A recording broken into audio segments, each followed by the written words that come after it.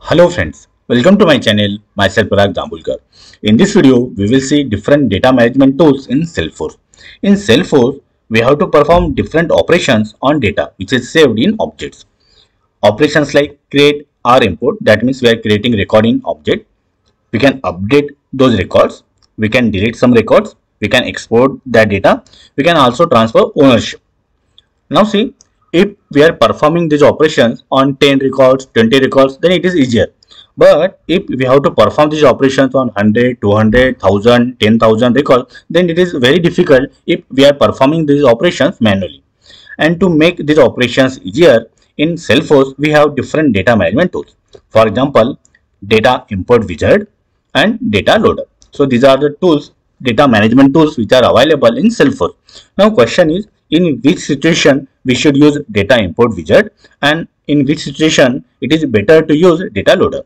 For that we will see difference between these data management tools.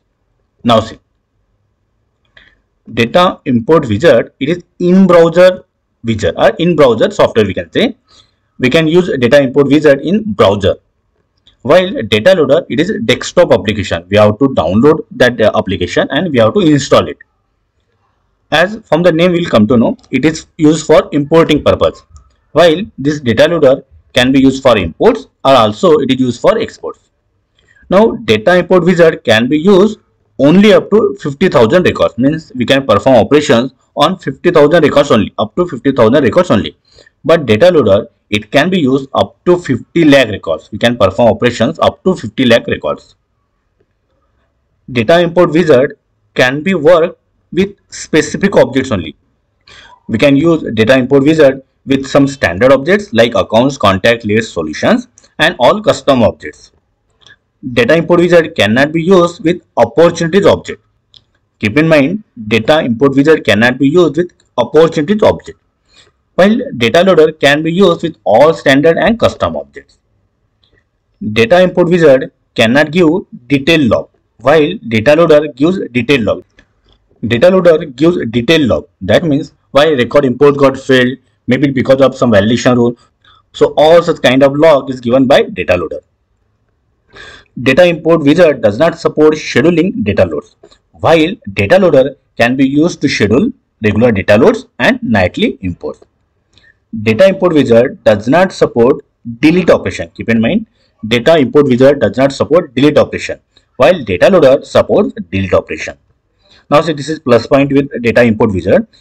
During import, duplicate data can be ignored. Suppose there is a duplicate data, so that can be ignored by using data import wizard. While in data loader, duplicate imports cannot be ignored. So these are the difference between data import wizard and data loader. Now from the difference we'll come to know in what situation we can use data import wizard and data loader. So if we want to work with 50,000 records only, so we can use data import wizard. If we want to perform operations on some specific standard objects, we can use data import wizard. But data import wizard should support these standard objects. And if we want to avoid duplicate data, in that situation we can use data import wizard.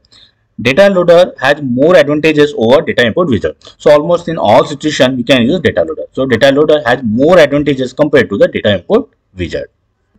In next videos, we will see how to use data import wizard and after that we will see how to use data loader. So friends, I hope you like this video. If yes, then click on like, subscribe to the channel and don't forget to press bell icon so that you will get notification of my next video. So stay connected. Thank you.